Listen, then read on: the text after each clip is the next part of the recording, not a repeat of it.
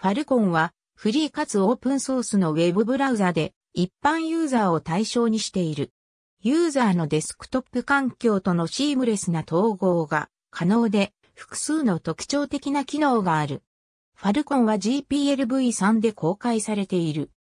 現代的な Web 標準に対応するため、Qt WebInGen から提供される Chromium エンジンを使用しており、自然な見た目とユーザーのデスクトップの感触とシームレスに統合することに力を入れている。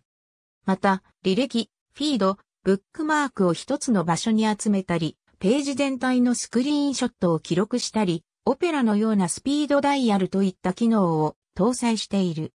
さらに文字や Firefox や Google Chrome といった主要汎用ブラウザと比べてシステムリソースの消費が少ないとされている。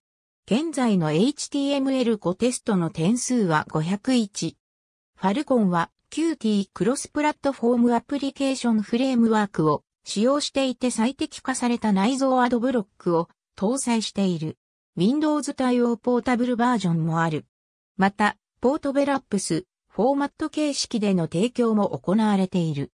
クプシラ V1.7 令和アシッド3を合格した。2010年に研究プロジェクトとして始まった。Python で書かれた最初のプレビューリリースは2010年12月に公開された。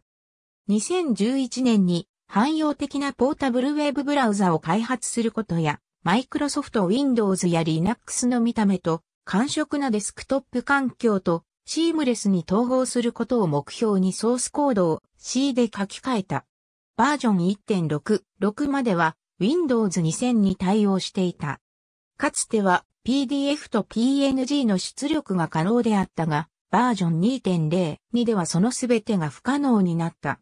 2018年4月にクプシラとしての更新を終了。